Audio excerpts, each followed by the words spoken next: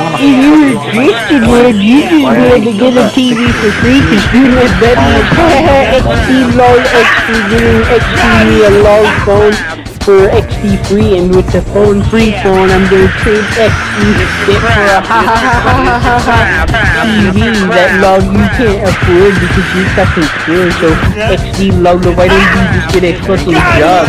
Because lol you don't get that.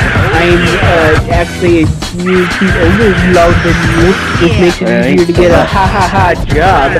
XD XD lol lol ha ha ha ha XD, but dude. Fuck you, I'm just gonna be, like get a freaking 20 grand bong for a ha ha free loan.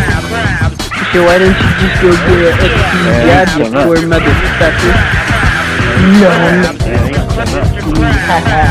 Dude, if you were interested, man, you'd just be able to get a TV for free because you know Betty is XD lol, XD green, XD me a lol phone for XD free and with the phone free phone I'm gonna trade XD get for a ha ha ha ha ha ha ha TV that log you can't afford because you're fucking poor. So XD log why don't you just get a fucking job because log you don't get that I'm uh, actually a year too older log than you